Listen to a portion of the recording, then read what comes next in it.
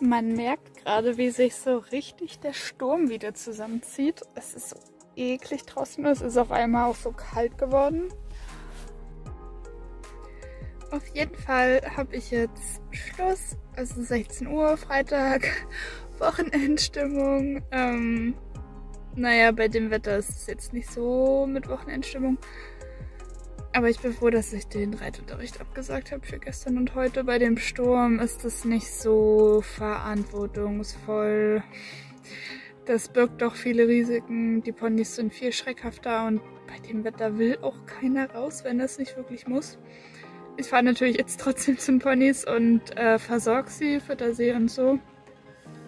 Und hoffe, dass ich da gut ankomme, weil das echt richtig eklig draußen ist und so böig.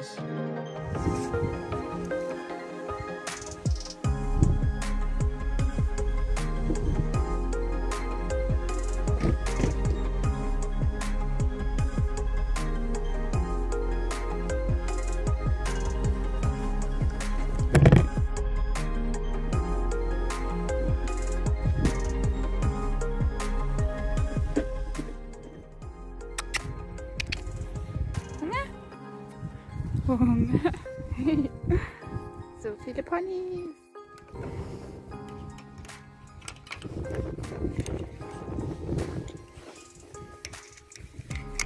Also folgendes. Das Pony muss hier bleiben und die beiden Ponys dürfen raus.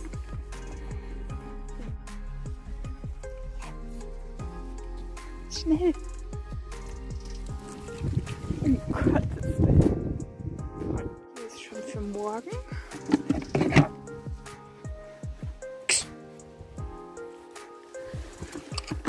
So.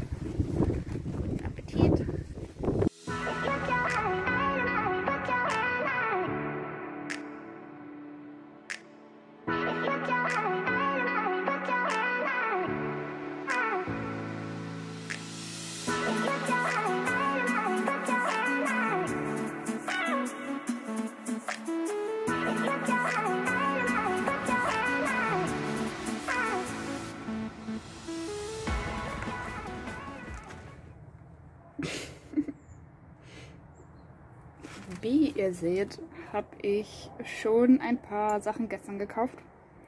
Ich möchte nämlich einen Raum in meinem Haus umgestalten. Da soll eine schöne Leseecke hin und der soll ein bisschen persönlicher werden, weil er gerade sehr leer ist. Ja, und dafür geht es auch gleich einkaufen. Weil ich brauche natürlich noch einen Sessel und eine Leselampe und mal sehen, was ich sonst noch so finde. Sneak!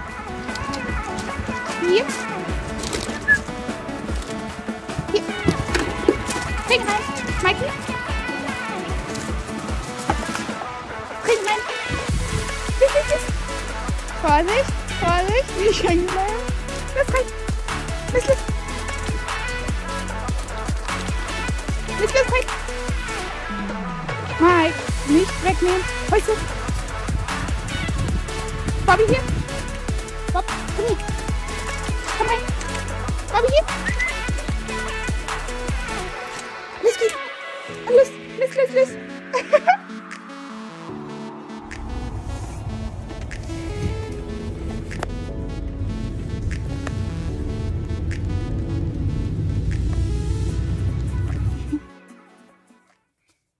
Hier ist gefühlt heute großer Umzugstag. Ich habe ganz, ganz, ganz viele Sachen gekauft für die Wohnstube.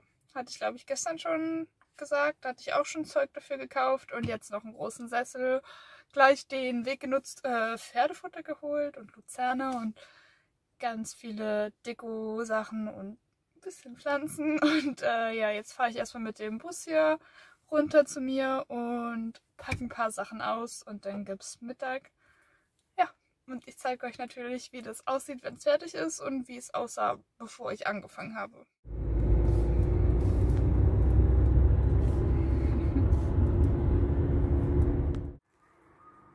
So, hier sind ja schon ein paar Sachen, die ich gestern gekauft habe. Und jetzt werde ich noch das Auto ausräumen. Und die Ecke, die ich meine, oder das Zimmer, was ich meine, ist dieses hier. Da soll die Leseecke rein. Und dieser Schrank soll darüber. Der Schrank soll weg. Der ist nämlich eh oll. Das Bett kommt dann hier hin. Dann guckt man da nicht mehr so rauf. Und dieses Sitztischgedöns äh, soll dann da vors Fenster. Und ja, hier ist ja mein Sofa. Es steht alles ein bisschen durcheinander gerade. Aber das ist der Plan, weil das hier zu leer ist.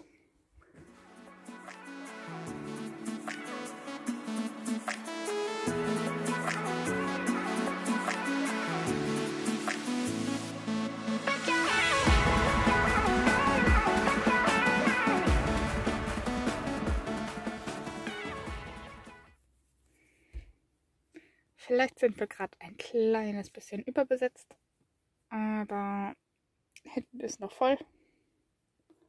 Und wir fahren jetzt in den Wald spazieren gehen und vielleicht holen wir ein paar Pilze.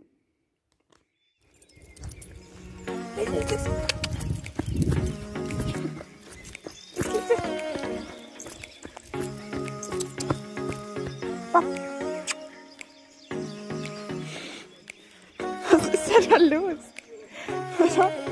Bob hat so eine Wolte gemacht. Bobby sitzt. Bleiben. Bleiben. Müssen Bobby noch ein bisschen müde machen. Ist die ganze Zeit so brav gewesen.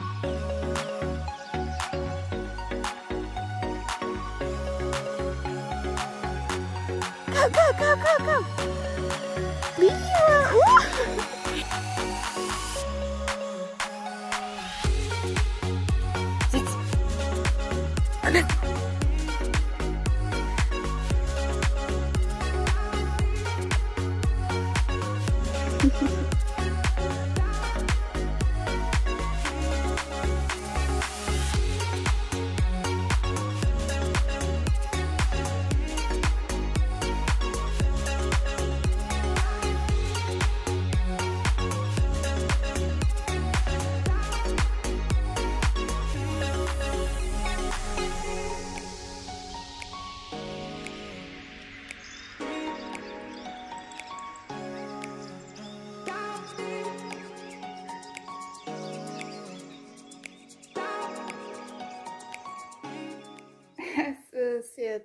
Sehr, sehr, sehr spät am Abend schon. Und ich bin fertig mit dem Umräumen, Umgestalten von der Wohnstube. Ich habe mir heute den ganzen Samstag dafür Zeit genommen und bin mega happy mit dem Ergebnis und das zeige ich euch jetzt. Okay, man kommt ja vom Flur in die Wohnstube und die ist jetzt einfach super, super groß. So, hast du es jetzt? so sieht die jetzt aus. Und ich bin richtig happy. Ich habe heute, wie gesagt, den ganzen Tag daran gearbeitet, wie ich vorher geplant hatte sollte in die Ecke, wo nur der Wäschekorb dort stand, halt ein Sessel zum Lesen. Und ich wollte da so eine schöne Ecke haben. Dieses Holzregal stand ja vorher hier. Und da war dieses richtig hässlich olle Holzregal, dieses, also so ein riesig großes Pressspan-Ding. Das wollte ich unbedingt raus haben. Da in der Ecke stand das Bett. Das habe ich jetzt komplett neu bezogen und neue Bezüge gekauft und alles. Unterm Bett ist ein bisschen Stauraum, weil ich natürlich diesen riesen Schrank ausräumen musste, wo lauter Zeug drin war. Jetzt habe ich hier so meine Sportecke. Hier ist mein Fahrrad. Das will ich auch im Winter mehr benutzen. Und ich habe hier so einen Handyhalter, da kann ich dann nebenbei einfach irgendeine Netflix-Serie schauen, während ich fahre. Ja, und Highlight mit so sind diese beiden Lichterketten. Oh, Light Overload. Ähm, ich finde, das macht das alles echt richtig, richtig gemütlich. Ich überlege noch, ob ich diesen Tisch hier hinstelle, vor das Fenster. weil man da mal so ein bisschen reinfällt. Aber das mache ich dann Schritt für Schritt. Ich will halt auch nicht irgendwie mir das hier zu eng hinstellen. Aber Platz wäre eigentlich, weil der Raum ist einfach. Moment. Der ist einfach riesig. Das ist der größte Raum im Haus und ja, ich bin richtig, richtig happy. Und nicht nur der Key, sondern auch ich bin jetzt richtig müde vom ganzen Umbauen und ähm, ja, heute Vormittag waren wir halt shoppen, haben die ganzen Sachen gekauft. Jetzt habe ich hier meine Bücher ordentlich drin. Ähm, bisschen Deko-Zeug. Der Sessel war auch so eine gute Entscheidung. Also es gab da gar nicht so viel in dem Möbelhaus, in dem ich war. Aber ich habe den gesehen und der hat sogar so eine Massagefunktion und kann sich aufheizen. Also das ist im Winter richtig cool. Dann habe ich diese coole Lampe hier gefunden. Jetzt ist es wahrscheinlich einfach wirklich zu hell hier. äh, ich muss ja nicht äh, Festtagsbeleuchtung hier anmachen, alles auf einmal. Es wird ja völlig ausreichen, wenn ich zum Lesen die habe. Die Monstera von da ist umgezogen. So. Okay, das war jetzt ein kleines bisschen dunkel, aber ich brauche halt auch gar nicht so viel Licht, wenn ich nur lesen möchte. Also der Sessel ist wirklich richtig cool. Dann hatte meine Mama die coole Idee mit den Vorhängen. Die machen so ein Fenster viel, viel schöner. viel gemütlicher. Ist nicht einfach jetzt nur ein Fenster, sondern ist so ein cooles. Hier habe ich die jetzt auch. Da geht es ja raus zum Wintergarten. Hier stehe ich.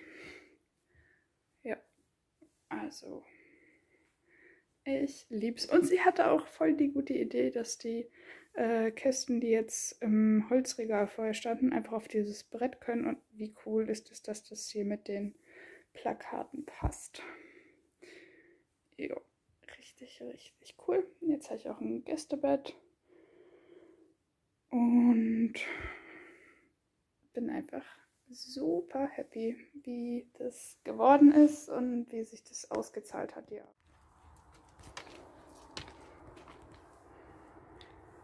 Heute ist grandioses Wetter. Richtig, richtig schön. Ich sollte mal langsam meine Blumenkästen wieder hinstellen. Die sind nämlich hier, ist alles mit dem Sturm umgekippt. Hier drin sieht es aus wie im Zeltlager. Ich habe äh, hier ganz schön viel Wäsche gewaschen und die trocknet hier. Ja, und immer noch, ich bin so froh, dass das kein Traum war. Das ist ja die schlimmste Vorstellung, wenn man richtig viel ackert und dann geht man schlafen und denkt so am nächsten Tag, oh, jetzt habe ich nur geträumt. Aber nein, es ist hier auch Zeltlagerstimmung, aber ähm, es ist alles noch so schön, wie ich das gestern hier eingerichtet habe. Da haben mir meine Mom und mein Dad auch so beim Umbauen geholfen den alten Schrank abbauen und so. Ja, ich bin richtig, richtig happy, richtig glücklich. Jetzt muss ich nur noch mich auch wirklich hinsetzen und lesen, ja. Also, dass ich das schaffe, mir dafür genau Zeit einzuplanen. Aber ich habe den Reitunterricht jetzt umgeplant und ähm, habe dann nur noch vier Tage die Woche zusätzlich Arbeit damit anstatt sechs Tage die Woche, wie es ursprünglich war, weil ich habe ja auch noch eine 40-Stunden-Woche und jeden Tag einen Fahrtweg von zwei Stunden und dann hängt man noch zwei, drei Stunden Reitunterricht hinten dran und dann ist man irgendwann tot. Sich tot gearbeitet. Das ist auch nicht gut und meine Gesundheit ist sehr schlecht gerade. Deswegen muss ich da ein bisschen was verändern. Und ich glaube, Zeit für sich selbst zu nehmen und ein bisschen runterzukommen, ist sehr, sehr wichtig. Und schaut euch mal diesen schönen Vorhang an und den Ausblick. Jetzt sehe ich immer Flocke hier und das Grün vom Garten.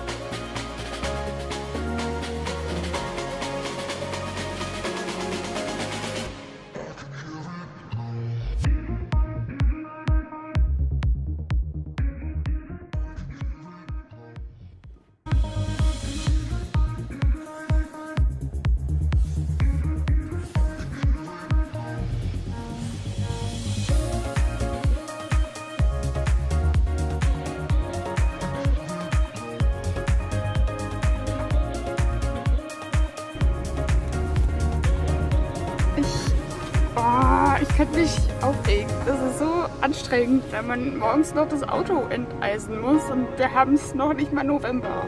Das ist schon minus ein Grad. Nachts hat es richtig gefroren. Da war heute Morgen überall so ein weißer Schleier drüber. Richtig doof.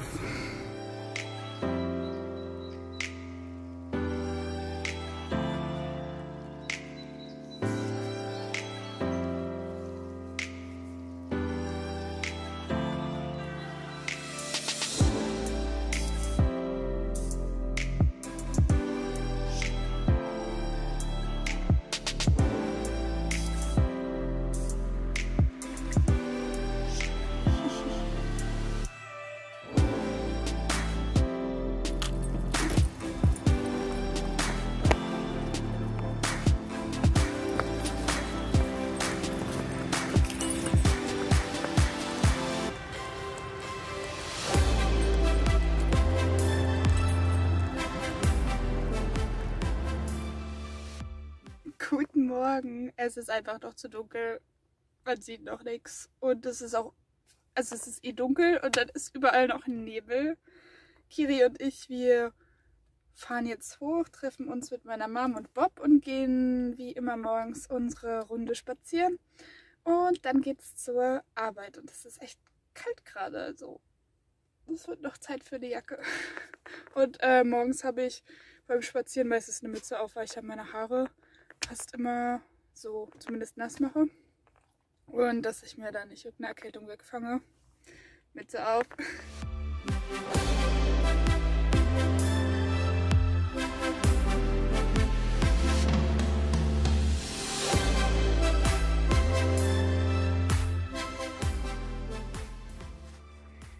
Dolly hat schon wieder riesengroße Ohren. So große kleine Büschelöhrchen. Süße Maus. Wetter ist heute super. Wir haben heute Donnerstag. Die beiden warten schon, werden gleich geputzt und fertig gemacht. Und die Maus auch.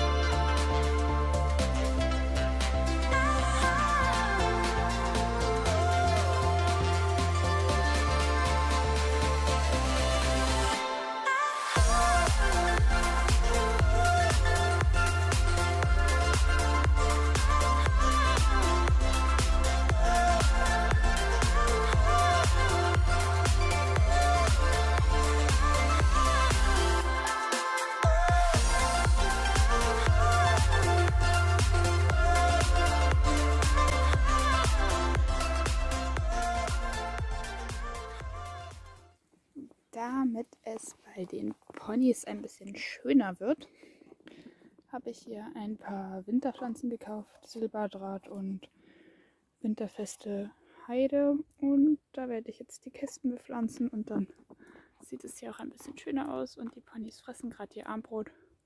Und Kuti kommt immer ab und zu hierher und guckt, was ich so mache. So, jetzt hat auch jeder sein Häuser gefunden. Und ich finde immer, dass Blumen, egal in welcher Art und Weise, alles ein bisschen schöner machen. Einmal sind schon vorbereitet für morgen. Also da sind die Schalen in den Eimern drin. Und die Karre hier wird dann das nächste Projekt. Die wird auch wieder schön gemacht. Da ist nur ein Heidekraut drin und dieses trojanische Pferd.